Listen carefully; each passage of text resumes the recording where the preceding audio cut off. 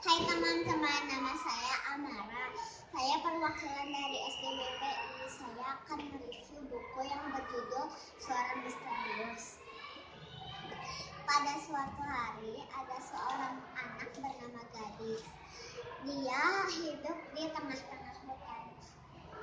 Gadis anaknya, gadis anak yang manja.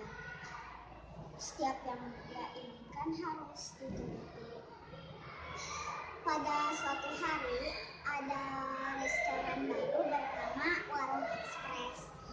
Tentunya gadis ingin ke sana. Gadis meminta izin kepada bundanya, tetapi tidak diizinkan.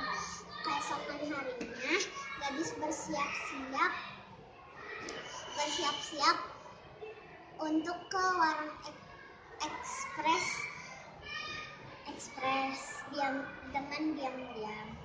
Jadi gadis tidak diketahui kalau dengan bundanya kalau gadis tidak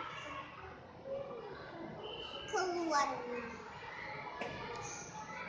Di tengah-tengah perjalanan ada suara suara misterius. Gadis langsung berlari cepat langsung berlari secepat-cepatnya. Gadis terlihat pucat dan akhirnya gadis beristirahat di rumah temannya Lala. Um, Lala ke rumah keluar rumah dan dan membeli minum dan makanan.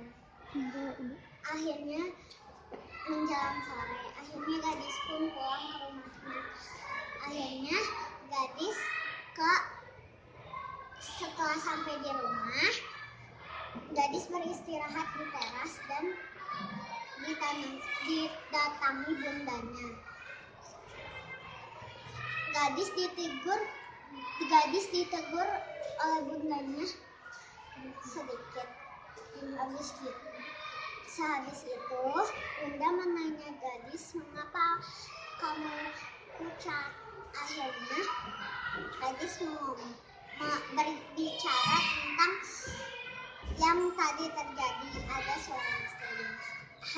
Akhirnya keesokan harinya gadis dan ibunya pun ke tempat tujuan yang ada suara misterius.